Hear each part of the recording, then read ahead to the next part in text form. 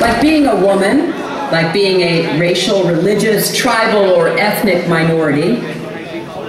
Being LGBT does not make you less human. And that is why gay rights are human rights and human rights are gay rights.